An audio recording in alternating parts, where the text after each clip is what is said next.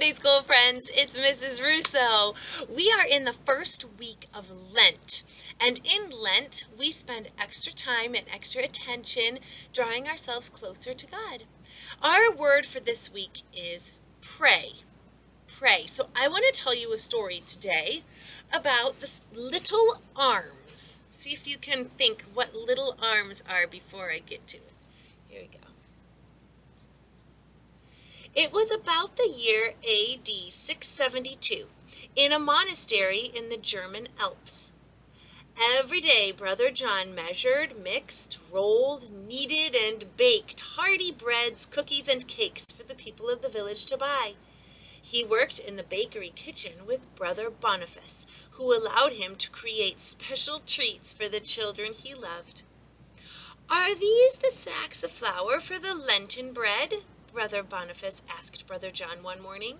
Next Tuesday is Shrove Tuesday, and we will need to begin baking early that morning if we are to make enough bread for the entire village. I know, Brother John replied. After the shriving bell rings at midnight, Lent begins. Then we will eat less and pray more, he added as he crossed his arms and put his hands on his shoulders in prayer as he had learned to do. And then, Brother Boniface, it will be time for little arms. Try it. You doing it? You might have already seen the picture at the top of the page to make it a clue. You see the pretzels? Pretzels? Yes, yes, yes, yes.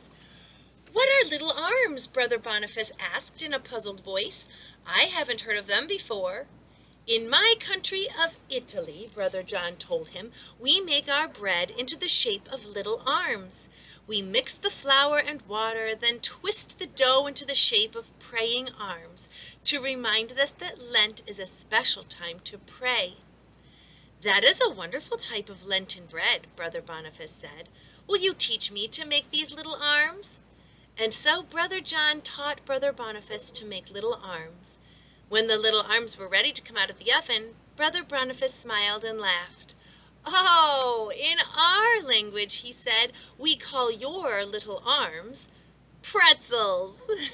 and so it happened that pretzels became part of Lenten tradition even to this day.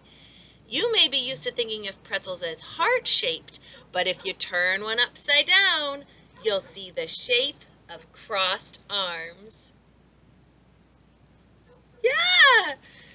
So you can make pretzels, you can bake them from the freezer section, or you can just take them out of the bag, open them out of the bag, and turn them around and notice that those, the shape of those pretzels look just like praying hands if you pray this way.